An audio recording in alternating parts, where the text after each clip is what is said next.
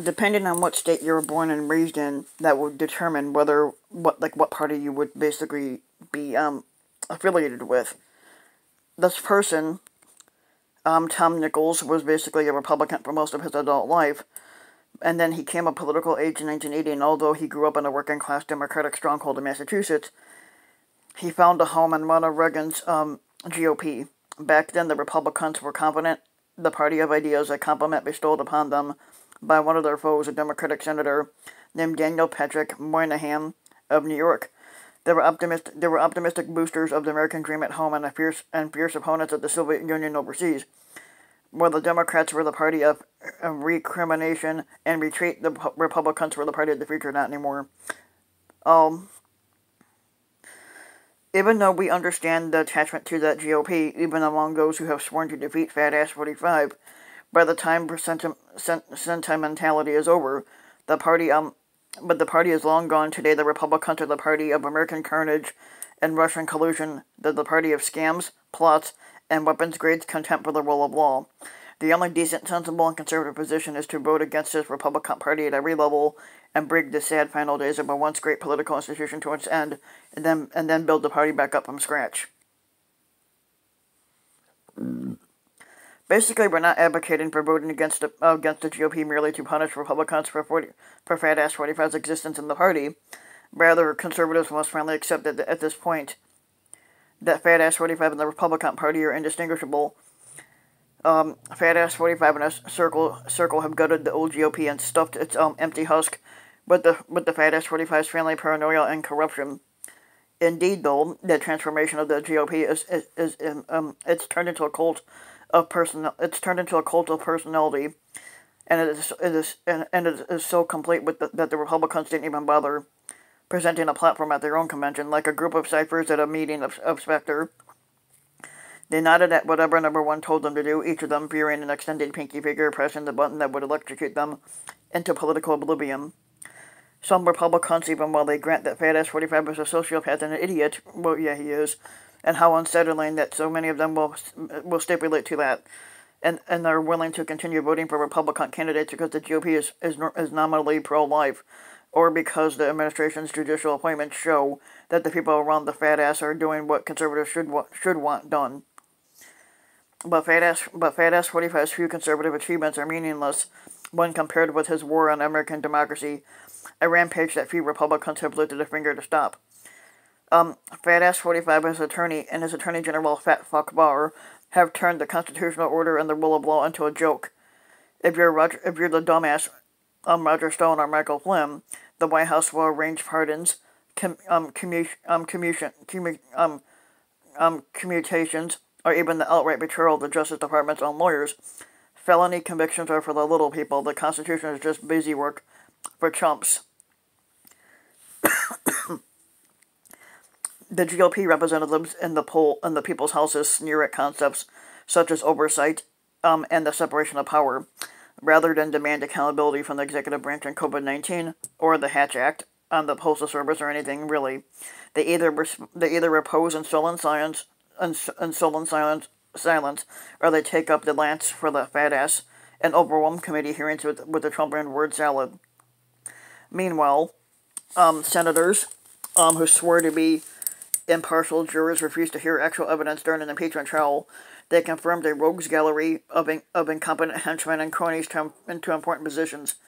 They continue to downplay the Russian attacks on the U.S. political system and they are now outboxed by the likes of John Ratcliffe, who's the Director of National Intelligence, a non-entity who has ruled that none of them, Republicans or Democrats, should be allowed to ask any pesky questions about election security in person. But Neil Gorsuch, a Republican chirp, when pressed about um,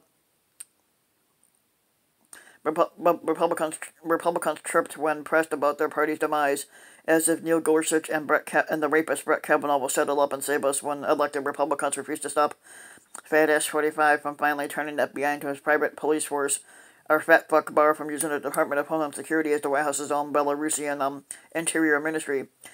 But the rapist Kavanaugh, who warned during his confirmation hearings that what goes around comes around, might be exactly the justice to put um, his stamp on such moves.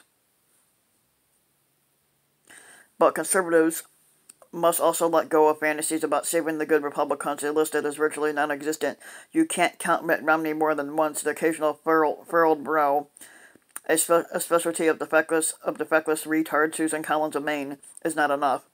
The few like Romney who have dared grasp at moments of sanity have been um, pillared by Ass 45 and the other Republicans. In any case, Romney is chained to the GOP caucus, a crew that includes the jabbering Louis Go- um, Gohmert and calculating um, Elise Stefan- um, Stefaniak in the House and the sniveling Ted Cruz and the moral Moscow Mitch in the Senate.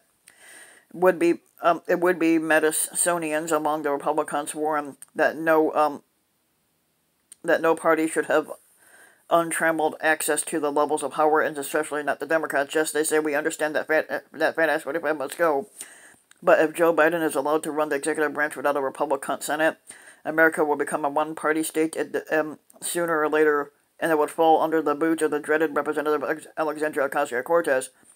This faux constitutionalism is a is, is basically hypocrisy. I do not recall during the days in the GOP or anyone on the right on the on the Republican side ever pleading that Americans should have at least a few Democrats in office, so that that the Republicans would not go crazy and start force feeding what they call the Ayn Rand or Friedrich Hayek, um, Hayek to impressionable school children. America needs what they call a two um a two healthy political party system. So if the Republicans suffer a full spectrum defeat in 2020, what comes next? At the at the least, a shattering loss would should result in a whole in a wholesale purge of the Republican National Committee.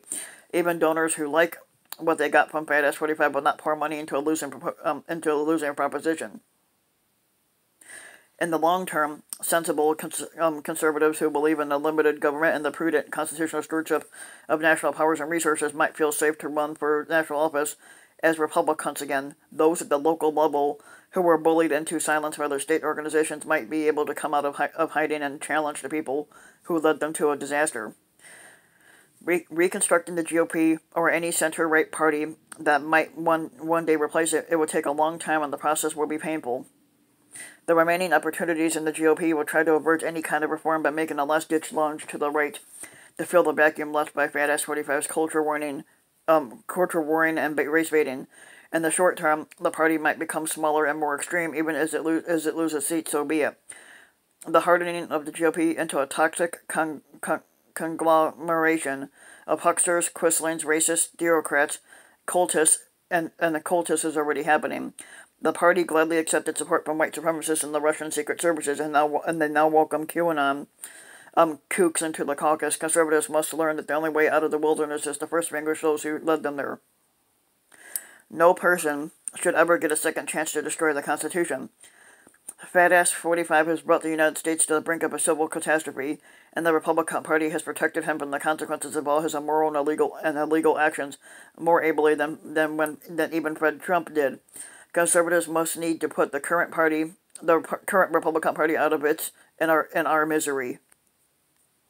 Yep. So if you like the video, give the video a like and subscribe to my channel, Ryan Wyk, and also hit the notification bell so that you'll be notified when a new video comes out. And thanks for listening.